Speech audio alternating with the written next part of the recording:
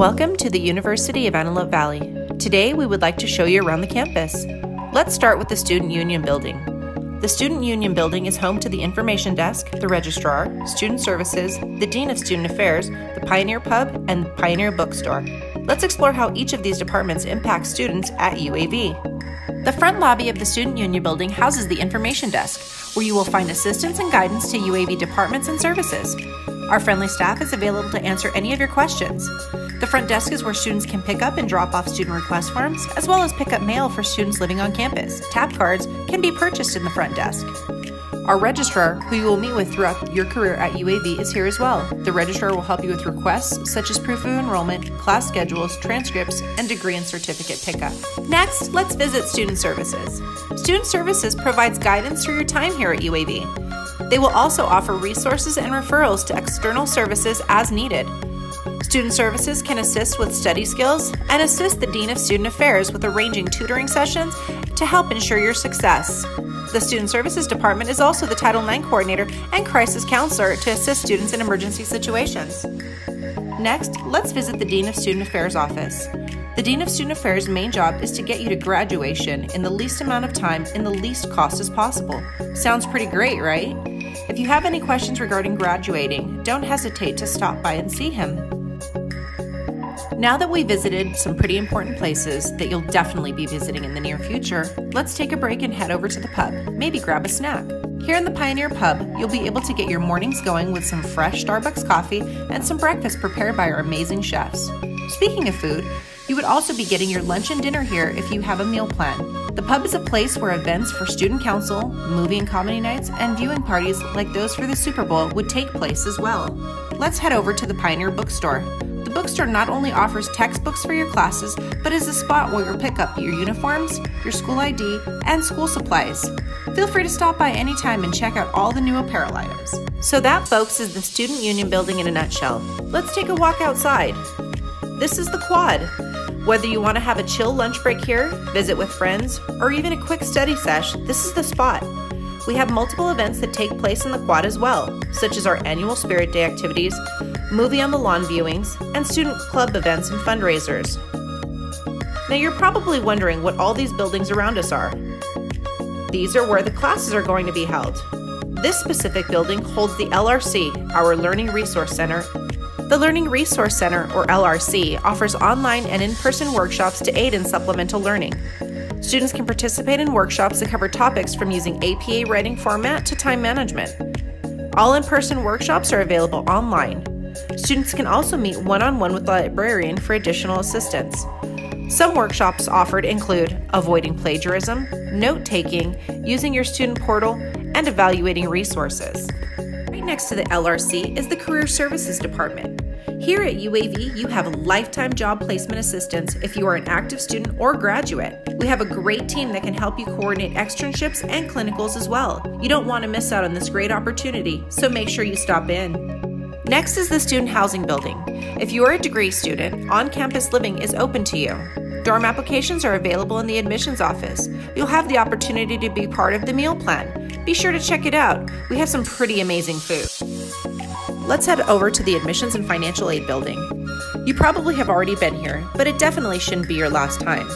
The admissions office will help you identify what scholarship opportunities, new programs, and graduate programs that are available after your current course completion.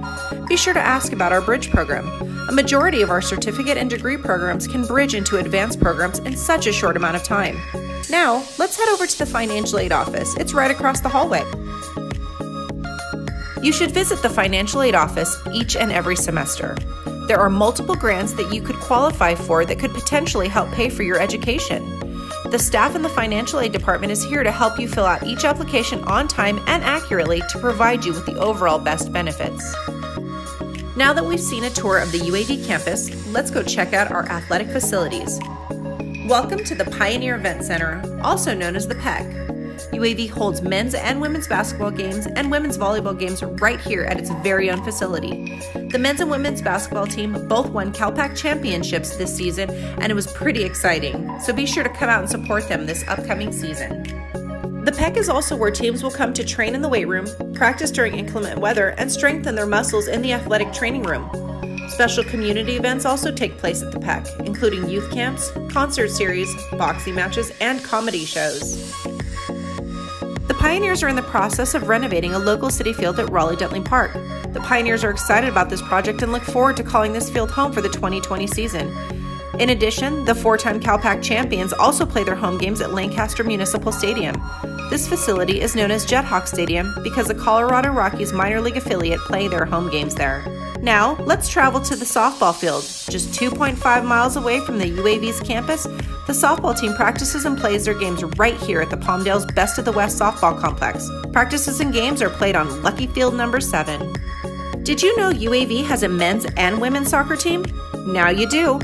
They play at one of the largest soccer complexes in the West, called the Lancaster National Soccer Center. The Pioneers play their home games on the FIFA certified field at the complex. Be sure to come check out some of their exciting games this fall. The Pioneers cross country teams cover a lot of ground in the Antelope Valley. Our cross country team competes at the national level, running all over Southern California, competing in NAIA and CalPAC tournaments. UAV's athletic programs are under the NAIA Champions of Character program. The five core values of this program are integrity, respect, responsibility, sportsmanship, and servant leadership, and these are put into play, accounted for, and tracked all by NAIA institutions. This provides and ensures that the student athletes know, do, and value the right things in all areas of life. The Pioneer athletic teams put in 1,100 community service hours in the 2018 and 19 school year, which is a firm indicator of how important community and volunteer service is to UAV. Now that we've seen a virtual tour of the campus, let's review some behind the scene items that you should definitely know, starting with your student email and portal. Each student will have a portal which can be located and accessed at the UAV's website, uav.edu. You can track your academic progress, financial aid, alerts, and much more. To set up your portal, we will first need to set up your student email. Let's begin by going to uavs.edu's homepage. Scroll down to the bottom of the webpage until you see student email. Your username will be your first name dot last name at students.uav.edu. Your password is UAV and the last four numbers of your social. You will also need to include an exclamation point in the password. Now you are set up to open up your student portal. Let's go to the top of the uav.edu homepage again and click Student Portal. From there, you will need to create a new account and answer a few quick questions. Once filled out, our database will automatically find your account and you will then choose a password. In order to complete the process, go to your student email you've already created and an email from the student portal will be there. You will authenticate that you set up your student portal and then you will be able to log in. Now that you're familiar with the student portal, let's talk about some expectations here at UAV. Certification programs. Students are expected to maintain satisfactory academic progress, also known as SAP. SAP is evaluated in 12 credit increments. Therefore, SAP is evaluated when students have attempted 12, 24, or 36 credits and so on. Degree based programs. Programs that are 60 units or more are evaluated per semester. SAP is broken down into three factors. Undergraduate level students must maintain a cumulative 2.0 GPA, and graduate level students must maintain a cumulative 3.0 GPA. Students must have successfully completed at least 66.67% of all coursework that has been attempted. Students must complete their program within a maximum time frame of 150% of the published length of the program as calculated in credits attempted. The first time a student is not meeting any of the three SAP requirements at the time of review, the student is placed on a probationary period. A student is eligible for financial aid during the probationary period. If the student does not meet one or more of the SAP requirements at the end of the probation period, the student will be withdrawn from the university. A withdrawn student may re enroll with financial aid eligibility if the student's withdrawal appeal is submitted and approved. Why is attendance so important? Well, in order to succeed, you must be present to learn all types of different criteria. Each program's attendance policy differentiates based on what you are studying. Students must maintain 50% attendance for each course in order to receive a passing grade. It is very important to read your catalog. You can download the PDF version on UAV's website at uav.edu.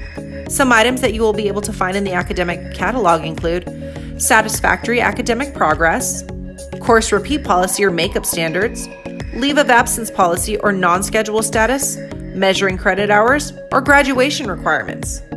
Now that you're familiar with some of these expectations, let's talk about Title IX. Title IX can be a sensitive topic, but it is very important. Title IX bars sex discrimination in education programs and activities receiving federal funds.